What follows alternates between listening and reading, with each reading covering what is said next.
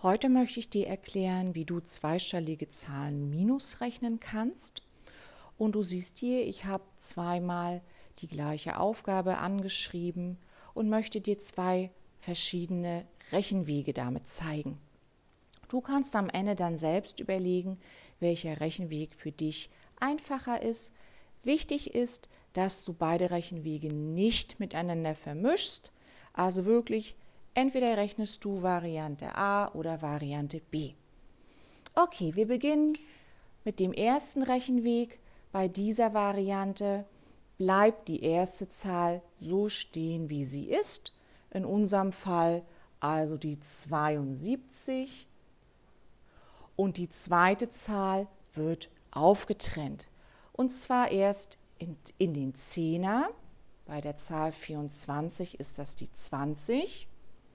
Wir rechnen also 72 minus 20 ist gleich 52. Diese 52 wandert nun nach vorne und erst jetzt ziehe ich den Einer, der noch übrig ist, von der Zahl ab also 52 minus 4. Du rechnest es kurz aus, ist gleich 48. Jetzt kannst du noch mal die Aufgabe darunter schreiben. Also 72 minus 24 ist gleich 48. Das war der erste Rechenweg. Nun schauen wir uns die zweite Variante an. Hier ist es nun so, dass wir beide Zahlen zerlegen. Wir schauen uns also die Zehner und die Einer an. Das sind, ist hier einmal die 70, hier die 20 und die Einer ist, ist einmal die 2 und einmal die 4. Nun wissen wir ja, wir können nicht 2 minus 4 rechnen.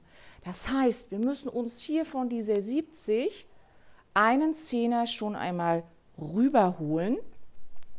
Dann ist es also keine 2, sondern eine 12. Und wir können natürlich 12 minus 4 rechnen.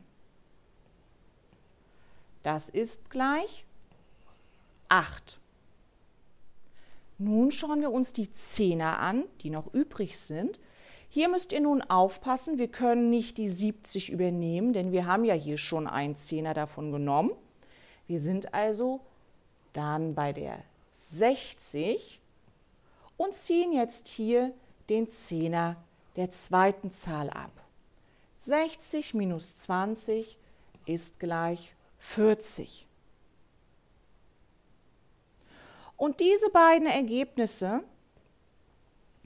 der Einer und der Zehner, die müssen wir jetzt noch zusammenrechnen. Das ist unser dritter Schritt in dieser Variante. Wir rechnen also 40 plus 8 ist gleich 48. Du kannst jetzt die Aufgabe nochmal wieder darunter schreiben, also 72 minus 24 ist gleich 48. Schau dir die Rechenwege noch einmal in Ruhe an. Du siehst, bei der ersten Variante sind es zwei Schritte, bei der, bei der zweiten Variante sind es dann drei Schritte. Ich hoffe, das konnte dir ein bisschen helfen. Ich wünsche dir viel Erfolg und auch Freude beim Rechnen. Tschüss!